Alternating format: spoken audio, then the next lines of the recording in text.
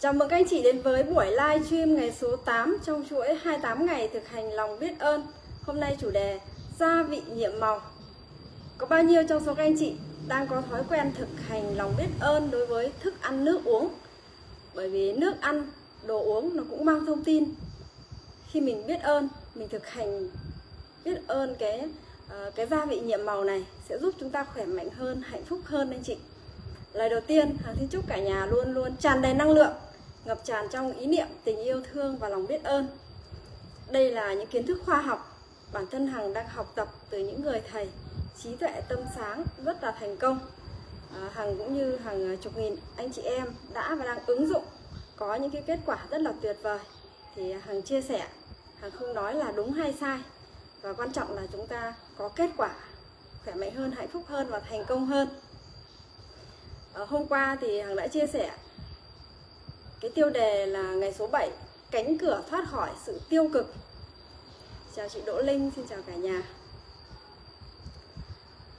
Khi có những cái điều bất như ý đến với mình, thì chúng ta có quyền lựa chọn mình có nổi giận, vui hay là không vui. Là do mình lựa chọn. Bởi vì nếu chúng ta có cái cảm xúc không tích cực, thì cái điều đó nó sẽ xảy ra bốn giai đoạn bên trong tâm thức của mình đầu tiên là chúng ta suy nghĩ và nói ra những cái điều gì đó nó không tích cực. Thứ hai là chúng ta là người quyết định cái cảm xúc giận dữ à, và mình cho phép hay không cho phép người khác làm tổn thương mình làm uh, ảnh hưởng đến cái cảm xúc cái suy nghĩ của mình là do mình cho phép họ. Còn nếu chúng ta biết chọn lọc chúng ta có quyền lựa chọn.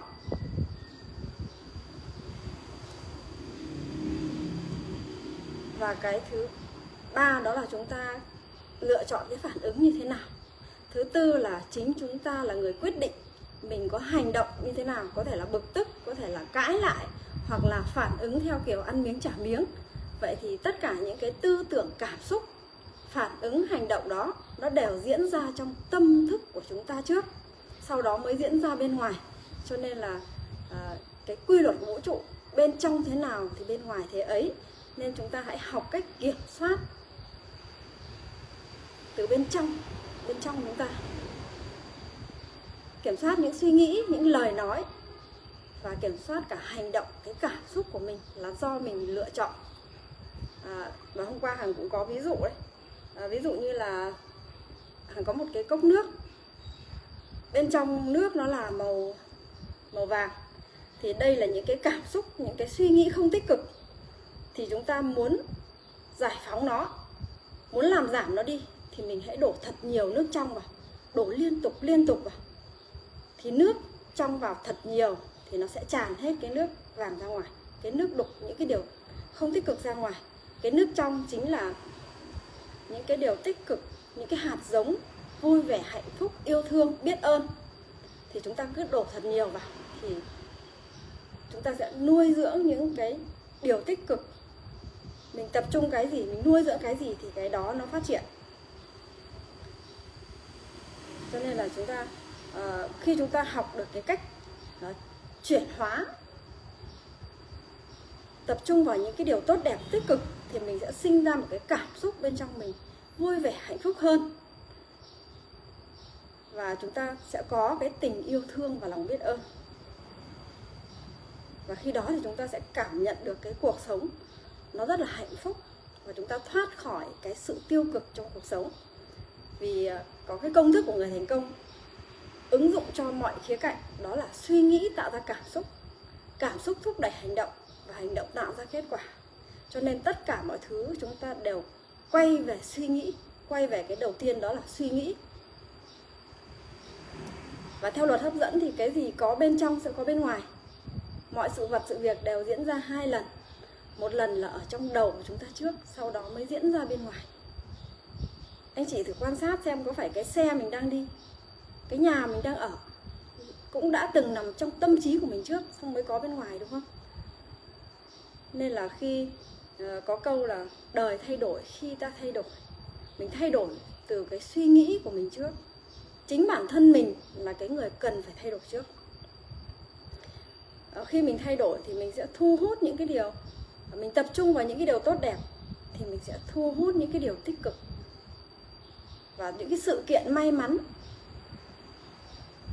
Còn những cái mà điều mình không mong muốn mình không tập trung vào nó mình không nuôi dưỡng nó thì nó cũng sẽ nhỏ đi dần.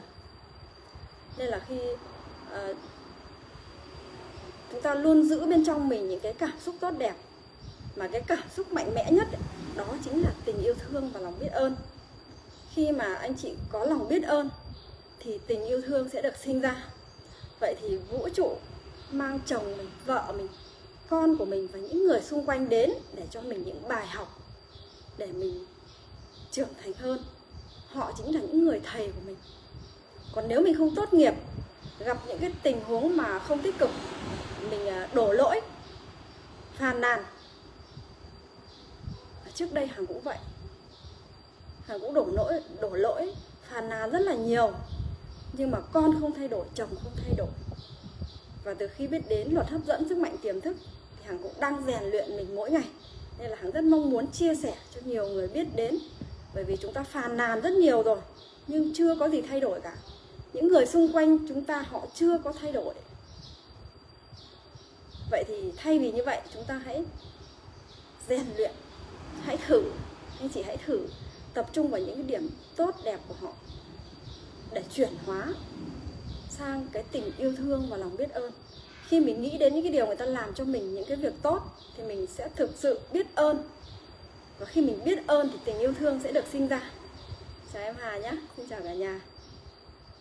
Cho nên là ừ, những cái con người đến với mình ấy, là vợ chồng mình, những người xung quanh họ đến là để giúp cho mình rèn luyện cái tình yêu thương và lòng biết ơn bên trong mình. Nên mình hãy tận dụng những cái cơ hội đó để nuôi dưỡng. Bởi vì tất cả những cái điều như là hạnh phúc, cái cảm xúc hay cái niềm tin chúng ta đều phải nuôi dưỡng, chứ không có cái gì tự nhiên mà có cả. Chúng ta, bên trong mình có tất cả những cái hạt giống yêu thương, biết ơn, hạnh phúc, vui không vui, buồn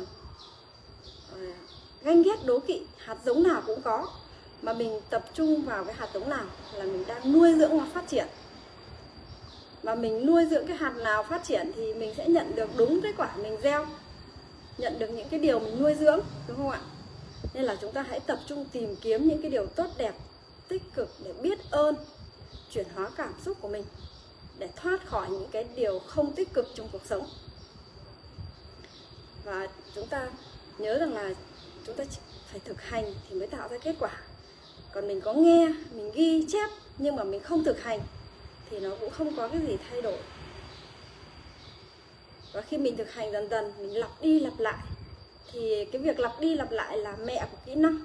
Nên là anh chị à, thực hành sẽ dần dần biến nó trở thành cái sự biết ơn ấy, trở thành lối sống. Mà khi chúng ta làm được điều này ấy, thì anh chị có thể chuyển hóa được cái cảm xúc của mình. Và hôm nay à, Hằng tiếp tục chia sẻ đến ngày số 8 trong cuốn sách 28 ngày thực hành lòng biết ơn chủ đề là gia vị nhiệm màu. Trước đây Hằng cũng chưa biết đến cái thực hành gia vị nhiệm màu đâu anh chị. À, ăn thì biết ăn thôi chứ không bao giờ biết cảm ơn. Và à, đây là những kiến thức khoa học. Các nhà nghiên cứu các vĩ nhân trên thế giới họ đã nghiên cứu và ứng dụng à, nên là hằng thấy nó rất là hay. À, hằng chia sẻ lại. Và mở đầu tác giả có chia sẻ. Một trái tim giàu lòng biết ơn luôn được thưởng thức những bữa tiệc linh đình. Cảm ơn thức ăn trước khi dùng bữa là một truyền thống từ nhiều nghìn năm trước, bắt đầu từ thời Ai Cập cổ đại với nhịp sống tất bật của thế kỷ 21 Việc dành thời gian để cảm ơn bữa ăn dường như đang bị quên lãng, nhưng nếu thực thi lòng biết ơn trong những hành động cơ bản như ăn uống, bạn sẽ gia tăng được phép màu trong cuộc sống lên đáng kể. Hãy nghĩ về những lúc thật sự đói, phải chăng lúc ấy bạn không thể suy nghĩ hay làm gì bình thường, cơ thể yếu ớt, bạn sẽ bắt đầu run rẩy, đầu óc rối bời, cảm xúc nặng nề. Tất cả những điều này xảy ra khi bạn bị quá bữa chỉ vài tiếng bạn cần có thức ăn mới có thể sống suy nghĩ và cảm thấy tốt đẹp được.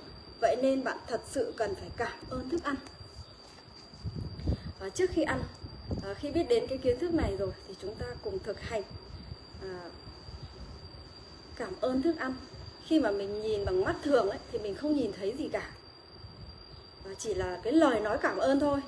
Nhưng mà khi chúng ta ăn chúng ta gửi lời cảm ơn vào thức ăn thì chúng ta sẽ tạo ra một cái tần số rất là tích cực tốt đẹp ở đây tác giả có nói rằng khi mà anh chị cảm nhận được cái ờ, cái lòng biết ơn ờ, khi bắt đầu vào bàn ăn mình cảm ơn đồ ăn thì nó sẽ giúp cho chúng ta chuyển hóa cái cảm xúc ngay lập tức. Ờ, không cần biết là trước đó chúng ta đang như thế nào mình đang có cảm xúc ra sao nhưng bước vào bàn ăn mà cái điều đầu tiên mình chuyển hóa được cái, cái tần số cảm xúc của mình sang cái sang cái tần số cảm xúc đủ đầy vui vẻ hạnh phúc thì đây là cái lợi ích đầu tiên đối với chính mình ăn trong niềm vui. Và cái lợi ích thứ hai là khi anh chị biết ơn cảm ơn đồ ăn là chúng ta đang rắc bụi phép màu. Chúng ta đang thanh lọc đồ ăn. Và anh chị gửi cái tình yêu thương và lòng biết ơn vào cái thức ăn đó. Và tình yêu thương và lòng biết ơn đó nó còn uh, nó đi tới đâu? Tức là cái thức ăn nó đi tới đâu ấy? Nó thanh lọc và chữa lành tới đó. Nên là khi anh chị gửi cái lời biết ơn và tình yêu thương vào đồ ăn của mình thì những cái thức ăn đó nó được thanh lọc và mình ăn vào cơ thể của mình nó cũng được khỏe khoắn hơn. Đó. À, nó sẽ tốt cho sức khỏe của mình hơn rất là nhiều. Khi mà chúng ta ăn trong cái sự à, không vui vẻ thì anh chị cứ tưởng tượng xem là à, ví dụ như khi mình ăn mình không vui ấy, thì nó cũng khiến cho đồ ăn vào trong cơ thể của mình sẽ không tốt. Như kiểu là mình ám thị cái đồ ăn, mình đưa cái suy nghĩ không vui vào đó, thì chắc chắn nó sẽ không tốt cho sức khỏe của mình anh chị ạ. Bởi vì đây là những kiến thức khoa học và có một cái nghiên cứu về bí mật của nước ấy. anh chị à, có thể à, tìm cái từ khóa, tìm cái video bí mật của nước rất là hay có một cái uh, nghiên cứu của ông người Nhật Bản. Ông ấy nghiên cứu về thí nghiệm của nước. Ông ấy lấy một cái ờ, nước ở cái nguồn thác nước ở Mỹ sau đó họ phân ra thành hai cái lượng khác nhau. Và một cái thì một một cái thì họ cho họ nói họ nghĩ họ nói họ gửi những cái lời yêu thương biết ơn vào đó gửi những cái lời cầu nguyện tích cực. Và còn một cái thì họ nói những cái câu uh, uh, ngược lại nó không tích cực ấy. Ví dụ như là uh, mày là đồ đáng ghét chẳng hạn. Mày là đồ xấu xa. Còn một cái thì nói là uh, bạn uh, thật là đáng yêu bạn rất là đẹp bạn rất là tuyệt vời. Thì khi hai cái đó họ cho vào đông đá đông băng và họ chụp lên kính hiển vi thì cái lượng nước mà nói lời yêu thương biết ơn thì nó đẹp như những cái bông hoa. Còn những cái nước mà nói những cái lời không tích cực ấy thì à, nó có những cái hình méo mó anh chị ạ. À, đây hằng có quyển sách bí mật của nước đây chị. Đấy tinh thể nước chụp lên rất là đẹp như những bông hoa kim cương ấy. Đấy là nước à, lấy ở những cái nơi mà à, rất là yên bình ví dụ như là ở ở chùa chẳng hạn. Còn những cái nước mà chúng ta lấy ở những cái nơi mà đất chuẩn bị đất đang bị cải tạo hay là nước mà nghiên cứu nó à, khi nói những cái câu à, không tích cực ấy nó thành những cái hình rất là méo mó chị.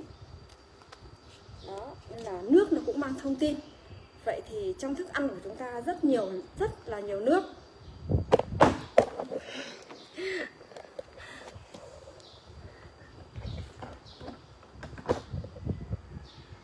và khi chúng ta gửi cái tình yêu thương và lòng biết ơn vào thức ăn của mình ấy thì ờ, nó sẽ rất là tốt cho sức khỏe. Bởi vì cơ thể của chúng ta anh chị hay nghe đấy, nó khoảng 70% là nước. Và bên trong não bộ của chúng ta thì nó có khoảng đến 80% là nước còn trong thức ăn mà mình đang ăn thì nó cũng rất là nhiều nước. Nên là khi mình ăn ấy, là mình ta mình ờ, cảm biết ơn là mình đang truyền những cái suy nghĩ tích cực tốt đẹp vào thức ăn.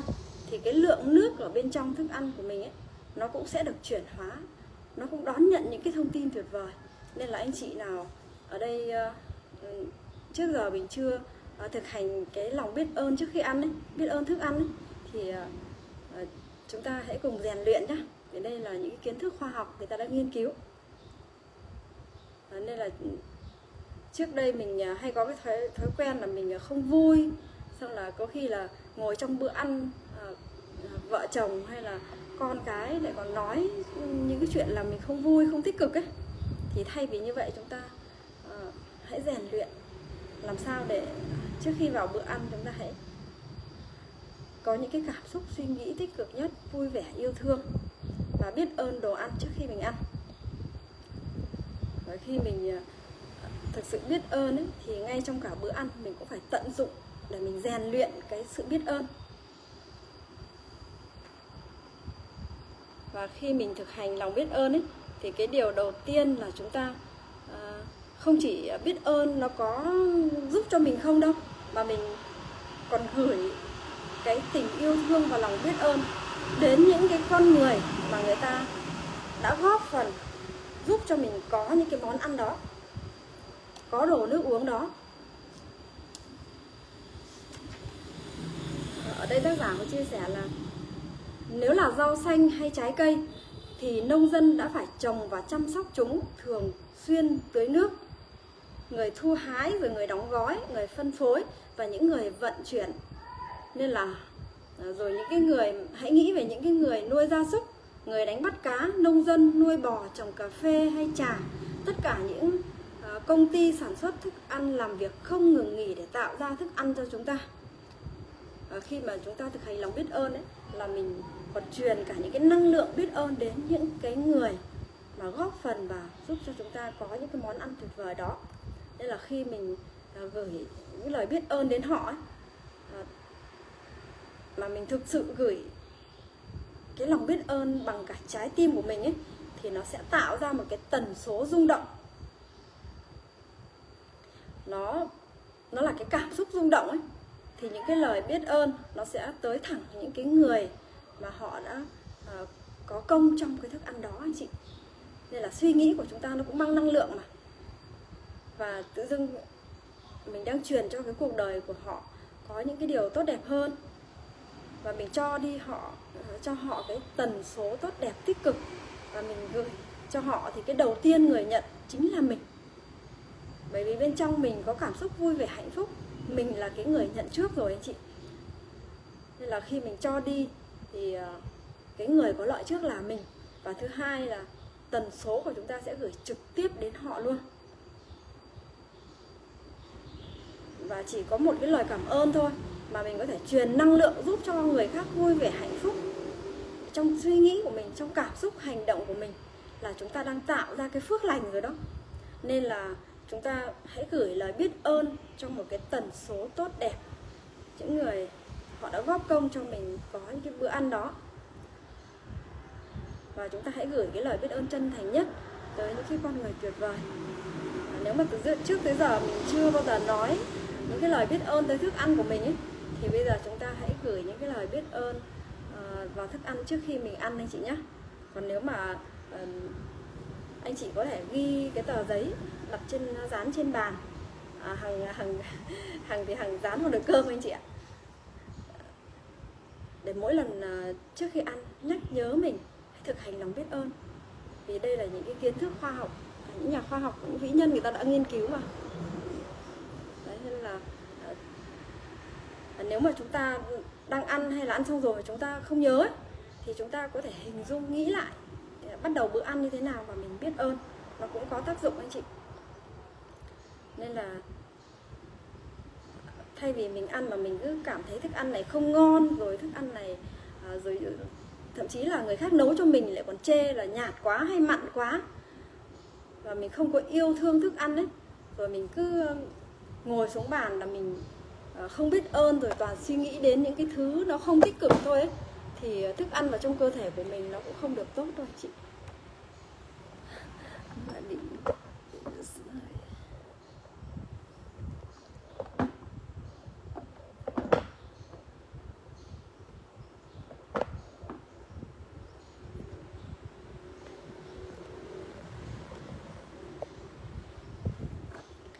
Nên là những cái Ờ, ví dụ như anh chị quan sát những cái người mà họ muốn tăng cân ấy với với những cái người mà họ muốn giảm cân ấy nó có sự khác biệt đấy anh chị ạ.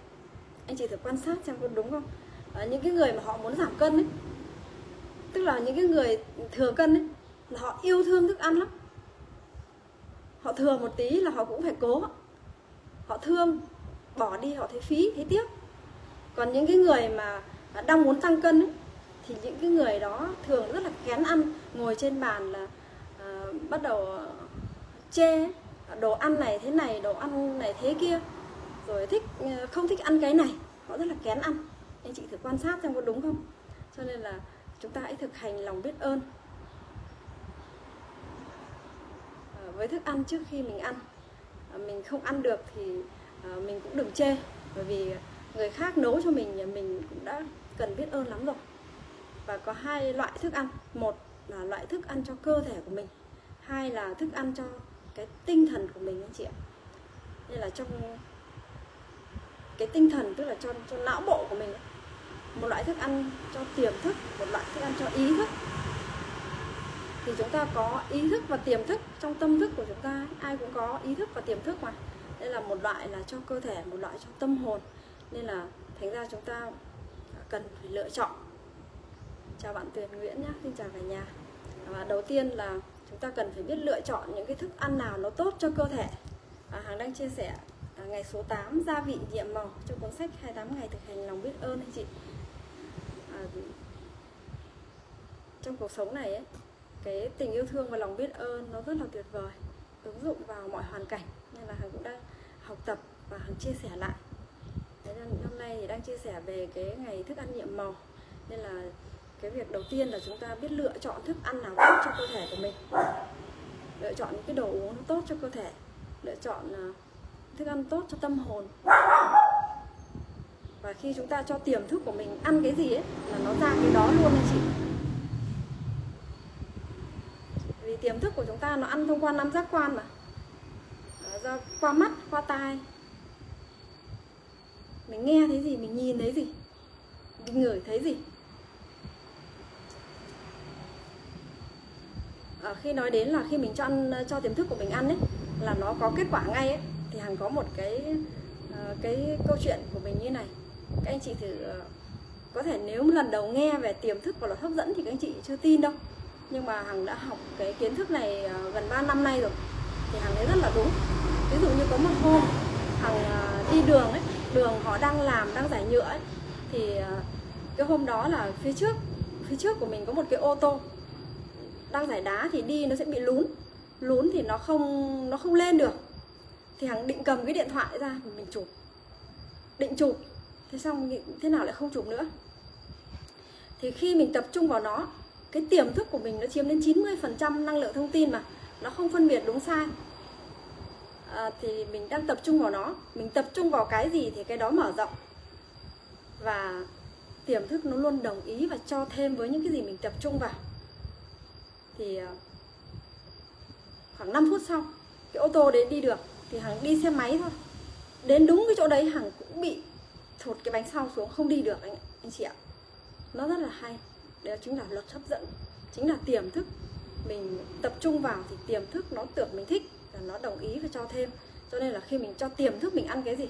Ví dụ mình đi đường mà mình nhìn thấy những cái vụ ờ, xe nó không an toàn ấy thay vì chúng ta cứ tập trung chúng ta nhìn ấy mà chúng ta đi qua chúng ta không liên quan đến mình ấy, thì chúng ta phải nói với chính mình là tôi an toàn. Chứ đừng đừng tập trung vào nó anh chị ạ. Tôi an toàn tôi an toàn. Bởi vì mình đang muốn an toàn mà. Hay là ai đó người ta hay nói những cái điều không tích cực ấy thì ờ, mình không thích nghe thì mình cũng có quyền lựa chọn. Mình không tập trung vào nó. Mình ờ, chỉ tập trung vào những cái điều tốt đẹp tích cực thôi. Nên là mình phải nuôi dưỡng những cái gì mình mong muốn. Bởi vì mỗi cái suy nghĩ cái lời nói của mình là một cái hạt giống cái cảm xúc của mình là một cái hạt giống. Và mình gieo cái hạt giống gì thì mình sẽ nhận quả đó. Cho nên là chúng ta muốn cái điều gì muốn khỏe mạnh hạnh phúc thì mình hãy tập trung vào những cái điều tốt đẹp tích cực. À, cũng như thức ăn chúng ta hãy nuôi dưỡng hãy nuôi dưỡng những cái điều mình muốn cho tiềm thức của mình ăn những cái điều tốt đẹp. À, ví dụ như là chúng ta có thể đọc sách à, xem những cái thông tin tích cực cho tiềm thức. Rồi à, được tiếp xúc với những cái người tốt đẹp. Thông qua năm giác quan của mình thì mình có quyền lựa chọn. Mình tiếp xúc nhiều với người thành công và người giàu có hơn và xây dựng cho mình cái mối quan hệ để mở để mình được chơi với những người thành công, khỏe mạnh và hạnh phúc hơn. Thì à, có câu nói của những người thành công là khi anh chị chơi với 5 người khỏe mạnh thì mình sẽ là người khỏe mạnh thứ sáu. Nếu anh chị chơi với 5 người hạnh phúc thì mình sẽ là người hạnh phúc thứ sáu. Khi mình chơi với 5 người có trí tuệ thì mình sẽ là người có trí tuệ thứ sáu cho nên là ngày xưa các cụ có câu gần mực thì đen gần đèn thì dạng. Nên là cái gì chúng ta cứ được nhìn đi nhìn lại nghe đi lặp đi lặp lại là nó cũng lưu vào tiềm thức của mình luôn anh chị ạ. Vì tiềm thức nó không phân biệt đúng sai phải trái gì cả. Nó đồng ý với cho thêm thôi. Nên là cái anh chị quan sát lại cuộc sống của mình ấy, mình cứ hay tập trung vào những cái điều không tích cực ấy thì mình càng thu hút đến những cái điều không may mắn chị phải quan sát lại xem có đúng không? Cho nên là à, khi chúng ta hiểu được cái điều này thì nó rất là logic đúng không ạ? Và chúng ta hiểu về cái quy luật của vũ trụ thì cái điều này nó là chính xác luôn anh chị. Khi anh chị tiếp xúc với cái nhiều với nhiều người cái người nào mà chúng ta tiếp xúc nhiều nhất thì chúng ta sẽ dễ trở thành con người đó. Nên là mình có quyền lựa chọn những cái mối quan hệ. Và mình thân thân cận với ai thì mình sẽ trở thành cái người đó luôn. Nên là hãy lựa chọn những người ừ, có những cái điều mình mong muốn. Chứ chúng ta hay nghe câu là một cây làm chẳng lên non ba cây chụp lại à, lên hòn núi cao ấy.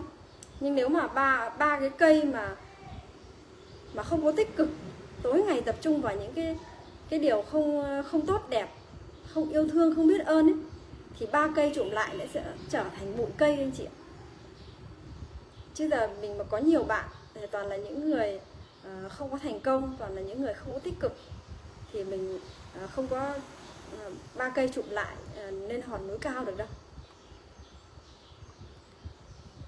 Nên là chúng ta có thể lựa chọn, mình có quyền lựa chọn mà. Để nuôi dưỡng cái tiềm thức của mình. Ví dụ như anh chị có thể đọc sách của người thành công. Xem video về cái phong cách sống của những người thành công, họ có phong cách như thế nào, để nuôi dưỡng cái tiềm thức của mình. Nuôi dưỡng những cái điều tốt đẹp, tích cực. Đọc những cuốn sách như là cuốn sách sức mạnh tiềm thức này để hiểu về chính bản thân mình anh chị. Để hiểu về cái tâm thức bên trong mình rồi cuốn sách bí mật tư duy triệu phú. À, muốn học cách quản lý tiền tốt thì hãy đọc cuốn à, cuốn sách người giàu có nhất thành Babylon. Đó là những cái cuốn sách mà những người thành công à, họ đã viết lên và cũng đã có rất nhiều người ứng dụng cái kiến thức đó giúp cho họ thành công. Và hằng à, và có một cái cách mà hằng đang à, à, đang học tập đang đang tham gia đó chính là mình ờ, tham gia vào những cái buổi zoom của những người thầy trí tuệ tâm sáng rất là thành công. Tham gia vào câu lạc bộ để rèn luyện mỗi ngày cho tiềm thức của mình ăn những cái điều tốt đẹp. Khi mà anh chị vào zoom ấy, thì anh chị toàn thấy chia sẻ cho anh chị những cái điều tích cực tốt đẹp thôi. Để nuôi dưỡng những cái hạt giống yêu thương, biết ơn. Hạt giống biết ơn, hạt giống thành công và giàu có. Anh chị có quyền lựa chọn để tiếp xúc nhiều với họ. Khi mà anh chị tiếp xúc với ai nhiều thì anh chị sẽ trở thành người đó mà. Nên là anh chị uh, hãy tìm cho mình cái môi trường cái môi trường cực kỳ quan trọng anh chị. Vậy anh chị biết là ví dụ như một bó đuốc mà ném xuống cái hồ ấy, thì chắc chắn nó sẽ tắt dù có cháy to đến mấy. Nhưng một thanh củi ướt mà ném vào đống củi đang cháy to thì cỡ nào nó cũng cháy. Cho nên là cái môi trường rèn luyện nó cực kỳ quan trọng. Và đây tác giả có nói câu là nếu trên thế giới này có phép màu, thì phép màu ấy tồn tại trong nước. Mà trong thức ăn của chúng ta thì có rất nhiều nước anh chị. Nước cũng mang thông tin. Nên là các nhà khoa học đã nghiên cứu. Thì à, và các anh chị có thể tìm à, tìm cái cái video ba hũ cơm ấy có tiêu đề là cơm nguội cũng cần yêu thương của nhà khoa học ông ờ, uh, Nasaru Emoto ấy. là một nhà khoa học người Nhật Bản. Ông ấy làm thí nghiệm ba hũ cơm. Một hũ cơm là uh, hàng ngày nói những cái lời yêu thương biết ơn tích cực. Ví dụ như là bạn là bạn thật đáng yêu bạn rất là tuyệt vời mình nói những cái điều tích cực ấy. Tôi yêu bạn. Còn một hũ cơm là không nói gì. Chúng ta để cách xa riêng góc ra. Và một cái hũ cơm nữa là à, nói những cái lời không tích cực. Ví dụ như là, mày là đồ đáng ghét, mày là đồ xấu xa, tao ghét mày. Ví dụ thế. Thì à, sau khoảng một tuần thôi. Năm trước con gái của hằng đã thực hành làm cái bài tập này anh chị ạ. Cái hũ cơm mà nói lời yêu thương ấy nó chỉ hơi hơi bốc một tí thôi. Nó rất là thơm. Nó thơm như mẻ ấy. Còn cái hũ cơm mà để mặc ấy thì nó cũng mốc. Còn cái hũ cơm mà nói lời ghét ấy, thì nó mốc đen luôn anh chị ạ. Chúng ta dùng ba cái hũ cơm mà cho một ít nước vào.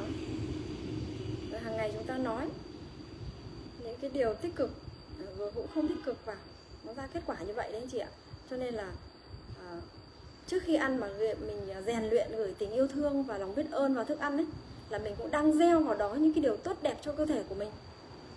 Khi mà anh chị ăn uống là chúng ta cũng đang ăn cả cái vũ trụ này vào cơ thể đấy ạ. Đấy ạ.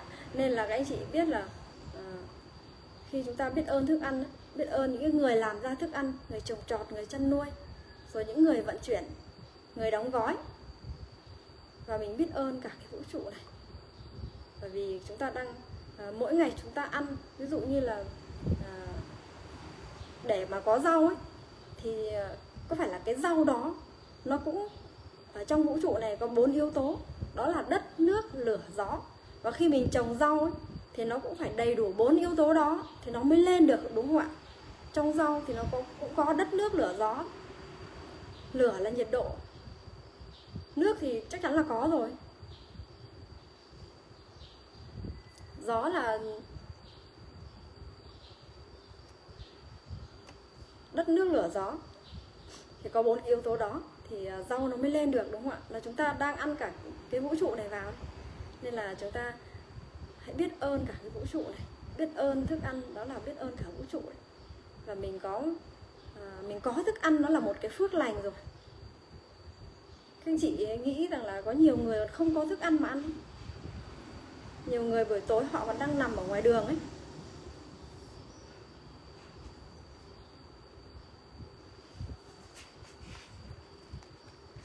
Và đây tác giả có chia sẻ là nếu trên thế giới có phép màu thì phép màu ấy tồn tại trong nước. Chúng ta sẽ ra sao nếu không có thức ăn và nước? Đơn giản là không thể tồn tại.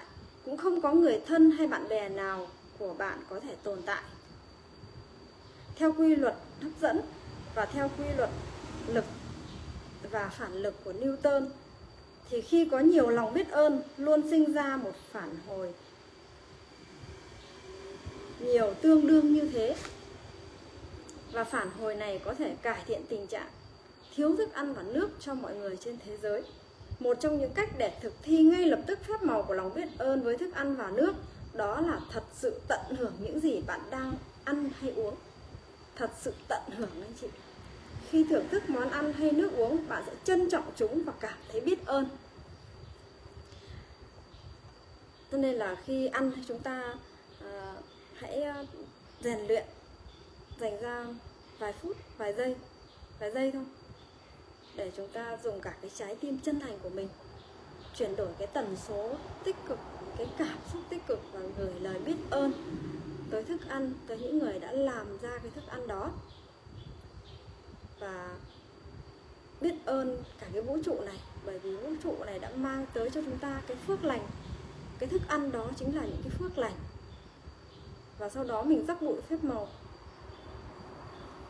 Các anh chị cứ tưởng tượng là khi à, chúng ta có thể dùng cái tay mình mình rắc và mình nghĩ những cái điều tốt đẹp ấy, mình chúc phúc ấy, là mình đang thanh lọc cái đồ ăn của mình. Và mình ăn trong tỉnh thức.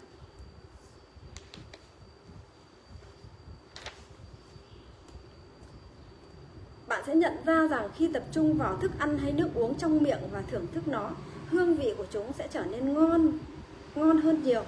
Khi không tập trung thì mọi thứ giảm đi thấy rõ. Chính năng lượng của sự tập trung và lòng biết ơn đã ngay lập tức gia tăng hương vị. Hôm nay trước khi ăn ăn uống, dù là ăn chính hay ăn vặt, ăn trái cây hay uống bất cứ thứ gì, kể cả nước, hãy dành thời gian nhìn vào món ấy và nói to trong tâm trí, từ nhiệm màu, cảm ơn và nếu bạn có thể hãy nếm chúng và thật sự tận hưởng hương vị. Điều này không chỉ gia tăng cảm quan mùi vị mà còn giúp bạn cảm thấy biết ơn hơn nhiều. Có nghĩa là mình ăn phải có được cái sự hiện diện, hiện hiện hiện diện ở đó. Là khi mà mình ăn, mình cần phải sống ở hiện tại. Mình đang ăn cái gì thì mình biết là mình đang ăn cái đó chứ không phải là mình vừa ăn mình vừa suy nghĩ đến công việc hay là mình vừa à, làm máy tính. Như vậy là mình đang không có biết ơn. Và à, các anh chị cứ tưởng tượng xem là à, nó giống như là khi mình ngồi gần một người thân ấy, mà mình nói chuyện với họ nhưng mà họ cứ cầm vào điện thoại họ lướt lướt. Họ không có tập trung ấy, thì cũng giống như là mình ăn mà mình không tập trung ấy chị. Thì mình có thích không? Mình có vui không? Nên là khi mà chúng ta uh,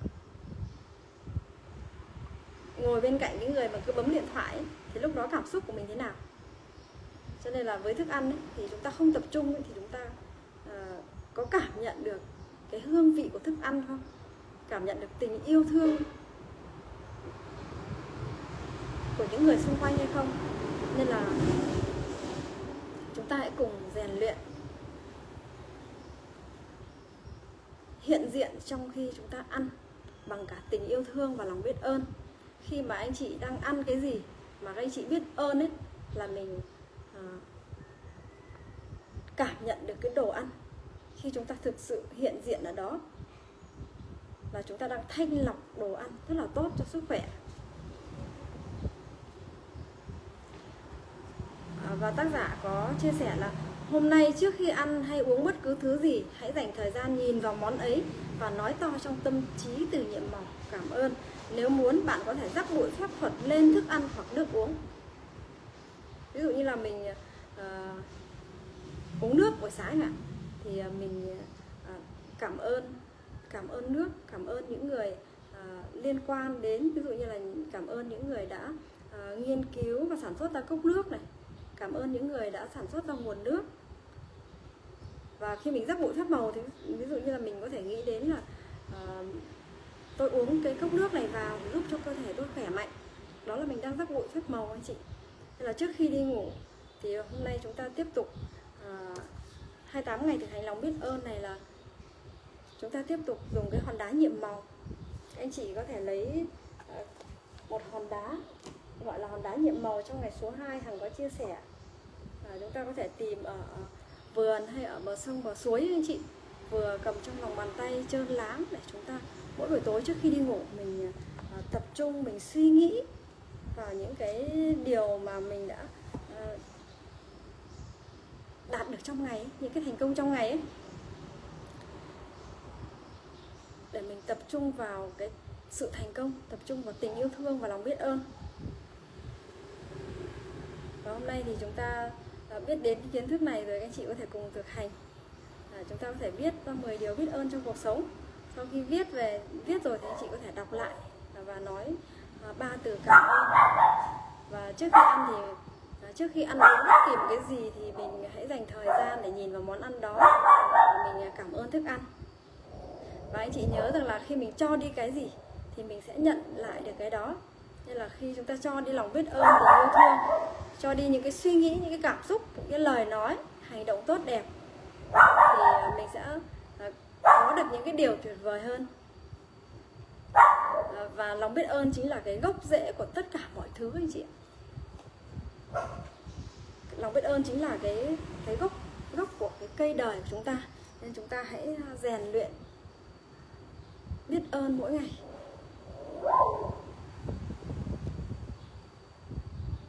Và để nuôi dưỡng, bởi vì không có cái gì tự nhiên mà có cả. Chúng ta tập trung vào những cái điều tích cực, tốt đẹp. Chúng ta cầm hòn đá, gọi là hòn đá biết ơn vào mỗi buổi tối trước khi đi ngủ, mình đặt tay lên trái tim và nghĩ lại từ sáng tới tối mình à, có những cái thành công gì. Ví dụ như là ừ, mình dậy sớm chạy bộ, hay là dậy sớm ờ, đọc sách, hay dậy sớm phát triển bản thân, rồi mình ờ, đi đường thông thoáng an toàn, đó cũng là thành công. Bởi vì ờ, mỗi ngày có biết bao nhiêu cái ờ, việc nó vụ nó không an toàn đúng không ạ? Nên là mình an toàn là thành công rồi. Và mình tập trung vào những cái điều tốt đẹp tích cực để mình đảm bảo là mình đang rèn luyện nuôi dưỡng cái tần số cảm xúc tích cực nuôi dưỡng những cái điều tốt đẹp. Và buổi chia sẻ hôm nay thì hằng à, cũng xin kết thúc ở đây. Cảm ơn các anh chị đã lắng nghe hằng chia sẻ anh chị thấy ý nghĩa thì có thể tag tên những người bạn hay chia sẻ cái video này cho nhiều người à, cũng ứng dụng. Và các anh chị à, à, mong muốn được học tập rèn luyện. Hằng cũng đang có một cái nhóm à, zoom cộng đồng zoom gieo duyên. Thì anh chị có thể nhắn tin cho hằng hằng hỗ trợ. Hằng có thể gửi cho anh chị những cái video để chúng ta rèn luyện mỗi ngày. Cảm ơn các anh chị đã lắng nghe. và Chúc cả nhà sức khỏe, hạnh phúc và thật nhiều phước lành, thành công trong cuộc sống. Và hẹn các anh chị ờ, vào 15 giờ chiều ngày mai Hằng chia sẻ ngày số 9 Nam châm tiền bạc. Cái chủ đề này rất là hay anh chị. À, xin chào và cảm ơn các anh chị. Hẹn gặp lại cả nhà.